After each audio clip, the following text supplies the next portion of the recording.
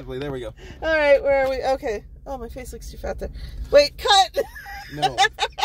okay. Um. Continue. Yeah, I'm divorced, and uh, my case has been unsealed, and um, there's a thrift store here, so we got a little distracted. Okay, but. and I have new shoes from the thrift store, so pretty Yes. pretty happy about that. And you got boots. Okay. That's the that's the second that's the second headline under divorced, and then after that is records unsealed. Records and then are after that unsealed. is uh, no contact. no contact with the kids. Yes, And we get to talk about things that happen in the divorce. we get to talk about um, battling Antifa being in the custody hearing as a point as a point in favor, Yeah. what, but, he, but he called it fighting communists. fighting com- fighting radical communists at Berkeley. Okay.